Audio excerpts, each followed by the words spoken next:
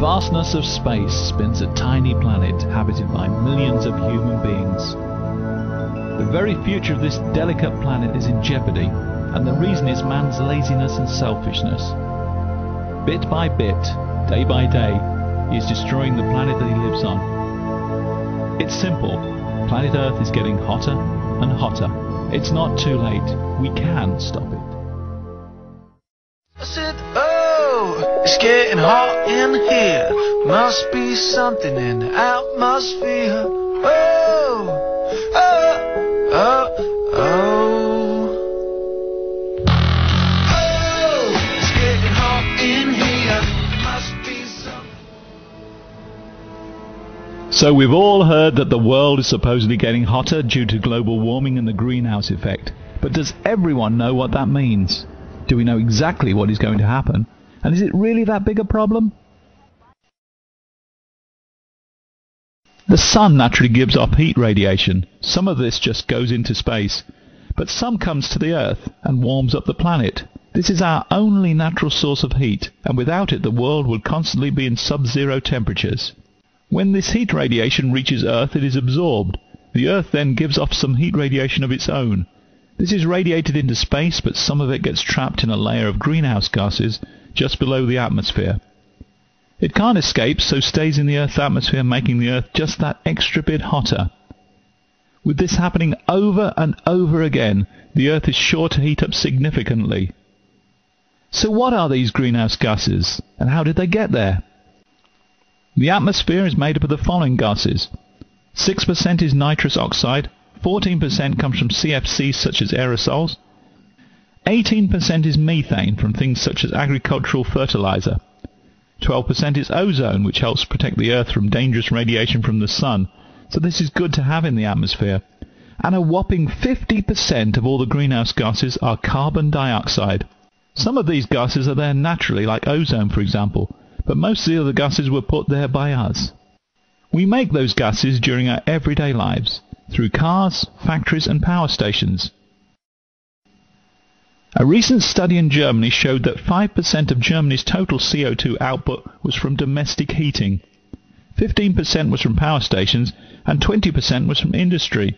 And a massive 60% was from transport. Cars, lorries and trains are all destroying this planet of ours. The amount of CO2 could naturally be reduced by planting more trees, but we're doing the opposite. We're cutting them down to make way for even more polluting factories and roads. So all these things put together make up the greenhouse effect. So called because of the way the heat is let in but can't escape. It's exactly what happens inside a greenhouse. Now we know what the greenhouse effect is. What will be the end result? Not all bad things come with the greenhouse effect. For a start, there will be more sunny beaches like this one. And many colder countries like the UK will have a much warmer climate, so we can have barbecues for longer into the autumn. There will be a few advantages to the UK, such as Mediterranean summers in the south and the ability to grow tropical plants and fruits, and a longer growing season in the north. With the hotter climate, countries that are already hot will now become unbearable, and more deserts will form due to the lack of water. Arctic plants that need the cold climate will become extinct, but we will start seeing some more tropical plants and animals here in the UK. The hot weather isn't all fun though. The heat will cause a lot of the glaciers in the freezing Arctic to melt. This will cause more water in the sea, and with the heat the water will also be expanded so the sea level will rise by up to 5 metres. As this scene from the film The Day After Tomorrow shows, many of the world's major cities will sink beneath the waves.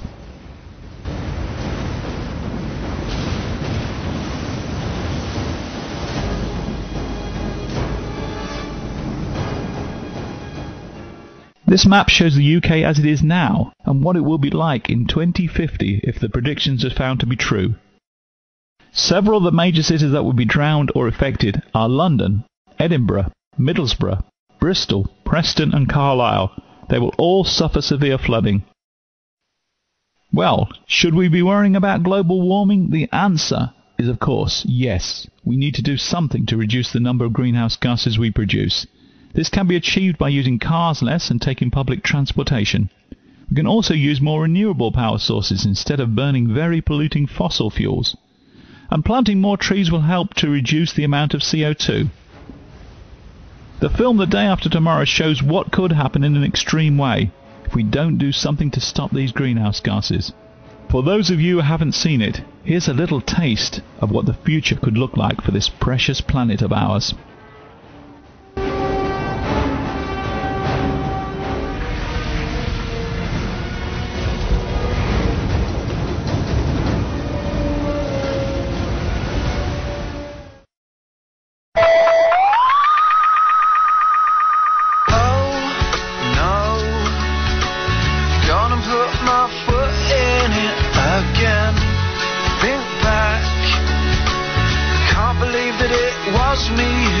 Said that last time. I promised I would bite my tongue until I counted to ten. I said, oh, it's getting hot in here. Must be something in the atmosphere. Oh,